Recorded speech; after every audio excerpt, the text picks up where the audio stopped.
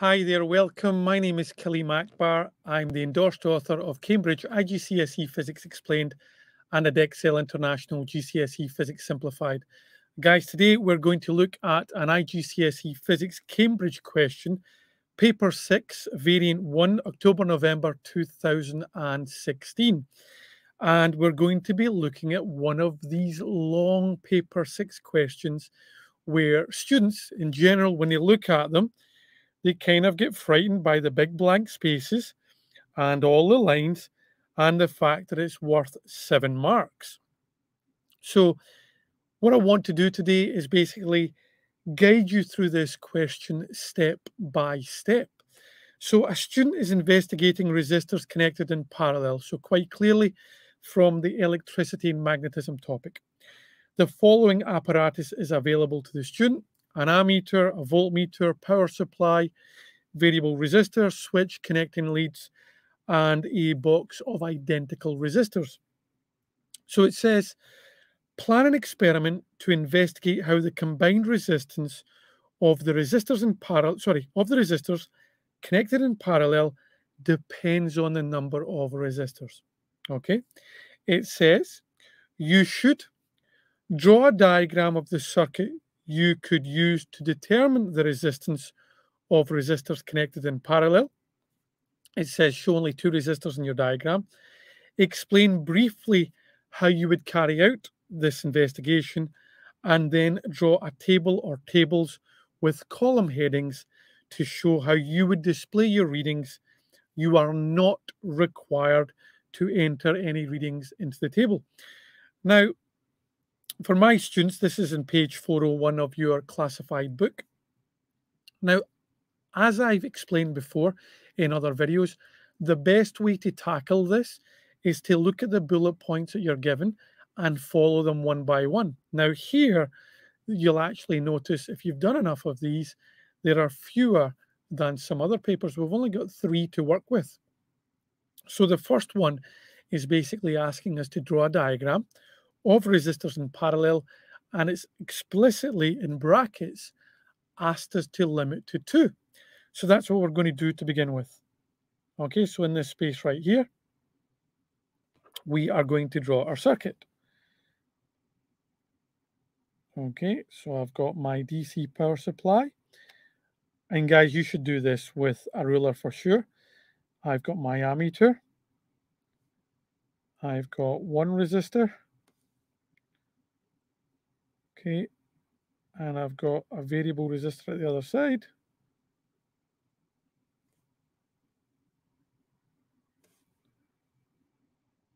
Okay, and another resistor, two resistors in parallel, and then my voltmeter in parallel with one of the resistors.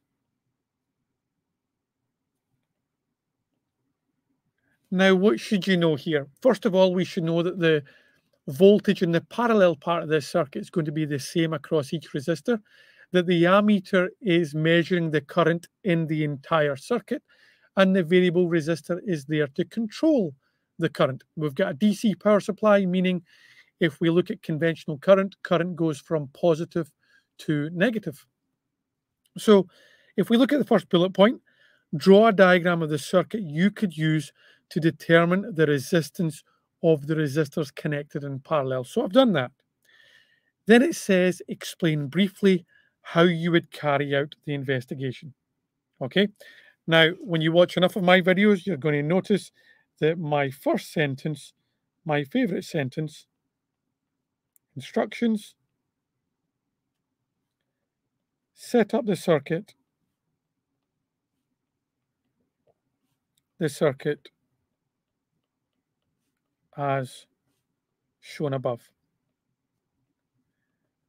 Now, the reason for this is what's that saying? A picture paints a thousand words. Well, basically, by drawing the diagram and just saying set up the circuit showing above, as shown above, I take away a lot of description, take away a lot of writing by basically referring the examiner to the diagram. That's why it's nice and simple. Then the description.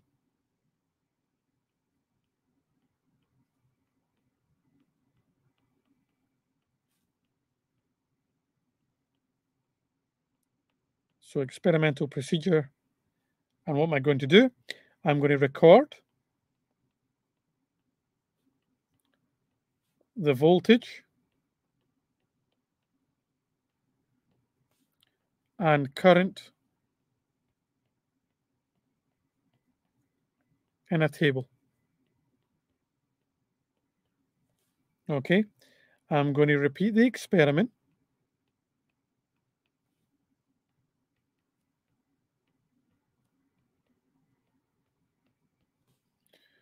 for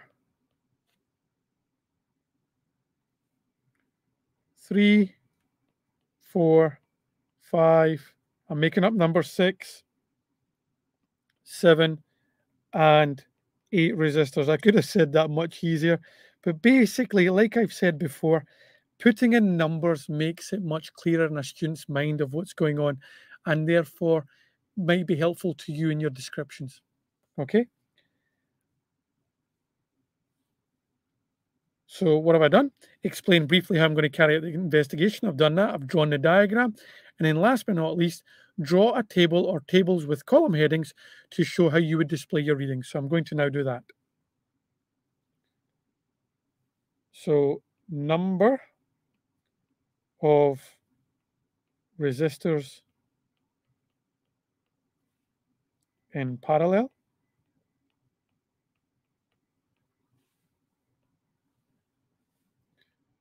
voltage in volts,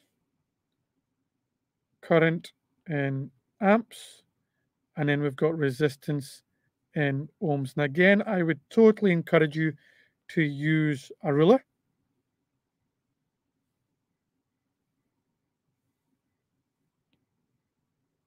And remember, you are not required to put in any results at all. You can't, you've not actually done any experiment. And then underneath, use R equals V over I to calculate resistance.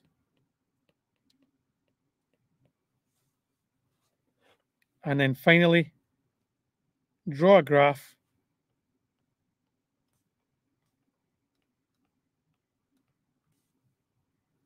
of resistance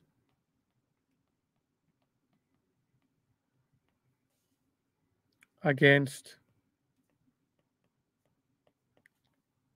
the number of resistors.